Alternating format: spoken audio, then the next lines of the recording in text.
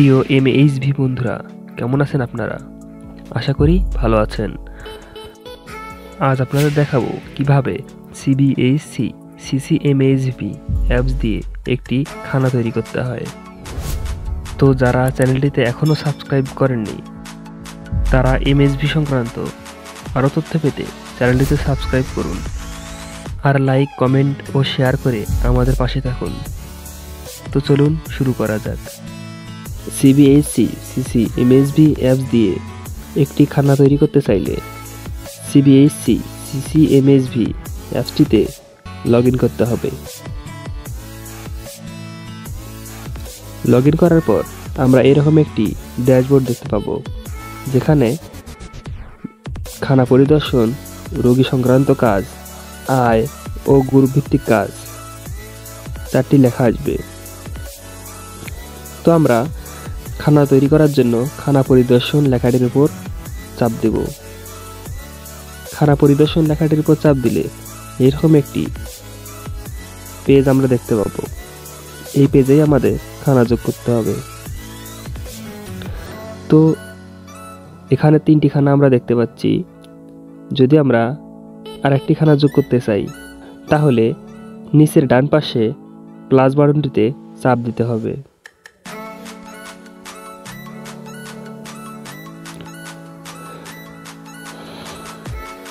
GPS setting অথবা location যদি off থাকে, তো অন করে দিতে হবে।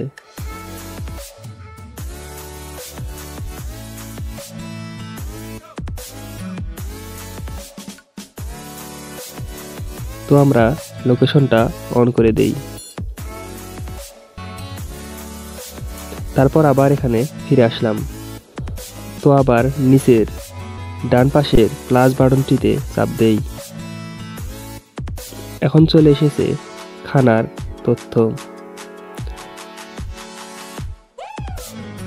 উপরে দেখতে পাচ্ছেন নতুন খানার তথ্য। তো এখন নতুন খানার সব তথ্য এখানে দিতে হবে।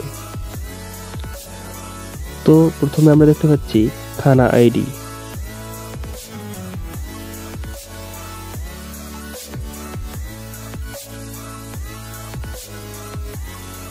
এখানে দেখতে পাচ্ছেন খানা ID holding number post office স্থায়ী ঠিকানা একই কি না এগুলোর উপর স্টার চিহ্ন আছে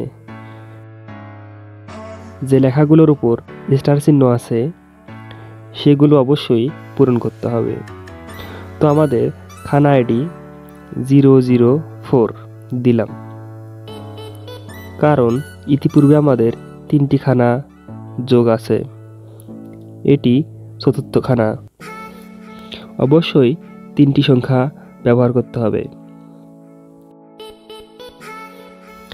হোল্ডিং নাম্বার। হোল্ডিং নাম্বার আমরা কোথায় পাবো? আমরা যে খানাতে যাব সেই খানাতেই এই হোল্ডিং নাম্বার পাওয়া যাবে। আর যদি না পাওয়া যায়, তাহলে ইউনিয়ন পরিষদ থেকে তা সংগ্রহ করতে হবে। আমি হোল্ডিং নাম্বার চারে দিলাম। আমাদের সিসির ইউজার পাসওয়ার্ড দিয়ে লগ করা আছে বিধায় এখানে বিভাগ, জেলা, উপজেলা এবং ইউনিয়ন। এই চারটি তথ্য অটোমেটিক ফিল হয়ে আছে। তো আমরা এখন ওয়ার্ডে চলে যাব। আমার ওয়ার্ড আট নাম্বার তাই আমি আট দিলাম।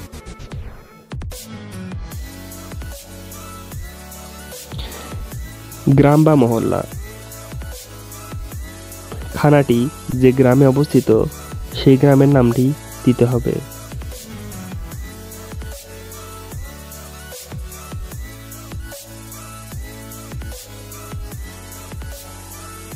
এখানে পোস্ট অফিস বলতে পোস্ট অফিসের নাম দেওয়া যাবে না। এখানে পোস্ট কোড দিতে হবে।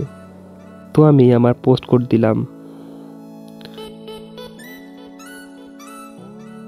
এখন স্থায়ী ঠিকানা একই কি না আমি যেখানাতে এসেছি, তার স্থায়ী ঠিকানা একই, তাই আমি একই দিয়ে দিলাম। একই দিলে পূর্বের যে ঠিকানাগুলো আছে, সেগুলো অটোমেটিক ফিল হয়ে যাবে। বাসস্থানের ধরন। বাসস্থানের ধরন পাকা। ল্যাট্রিনের ধরন পাকা। টিউবওয়েল আছে কি নাই? আছে। পারিবারিক আর্থিক অবস্থা সচ্ছল। মাসিক আয় বিশ হাজার ও মাসিক ব্যয় সতেরো হাজার। এখানে লক্ষণীয় বিষয় আছে, আয় থেকে ব্যয় অবশ্যই কম হবে, ব্যয়ের থেকে আয় বেশি হতে হবে। তো এগুলো ফিল করার পর নীল তীর চিহ্নটি আছে, সেখানে চাপ দিতে হবে। ওখানে চাপ দেওয়ার পর আমরা আবার একটি নতুন পেজ দেখতে পাচ্ছি। এই পেজে দেখতে পাচ্ছি নিকটবর্তী স্বাস্থ্যসেবা কেন্দ্র কোনটি? আপনি যে খানার তথ্য সংগ্রহ করতেছেন, ওই খানা থেকে নিকটবর্তী যে স্বাস্থ্য কেন্দ্রটি আছে, সেটি দিতে হবে। আমি যে খানাতে এসেছি, সেখান থেকে যে স্বাস্থ্যকেন্দ্র আছে, দশ শয্যা বিশিষ্ট হাসপাতাল, এটি সব থেকে কাছে। তাই আমি দশ শয্যা বিশিষ্ট হাসপাতাল দিয়ে দিলাম। তারপর নিকটবর্তী স্বাস্থ্যসেবা কেন্দ্রের আনুমানিক দূরত্ব কত কিলোমিটার? তো আমি যেখানেতে এসেছি, সেখান থেকে নিকটবর্তী স্বাস্থ্যসেবা কেন্দ্রের আনুমানিক দূরত্ব পাঁচশো মিটারের কম। তো আমি এটি দিয়ে দিলাম। পরিবারের সদস্যগণ সাধারণত কোন স্বাস্থ্যসেবা কেন্দ্রে থেকে স্বাস্থ্যসেবা নিয়ে থাকে? তো আমি উপজেলা স্বাস্থ্য কমপ্লেক্স দিয়ে দিলাম। এখন আপনার নিকটবর্তী কমিউনিটি ক্লিনিকের নাম কি? তো এটাই অবশ্যই আপনার নিজের ক্লিনিকের নাম দিবেন।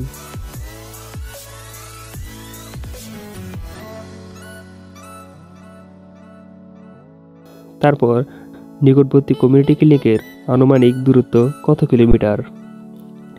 আমি যেখানাতে এসেছি, সেখান থেকে কমিউনিটি ক্লিনিকের দূরত্ব দুই থেকে তিন কিলোমিটার। তো আমি দুই থেকে তিন কিলোমিটার সিলেক্ট করলাম।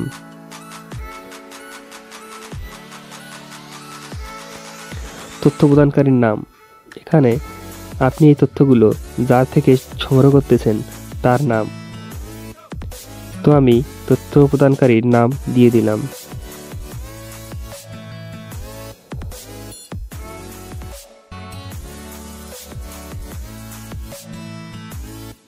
এখন মন্তব্য।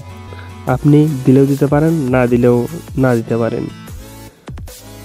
এটি ফাঁকা রাখলেও সমস্যা নাই। তো আমি ফাঁকা রাখলাম। সবগুলো পূরণ করার পর আমরা এই টিক বোতামটিতে চাপ দেব।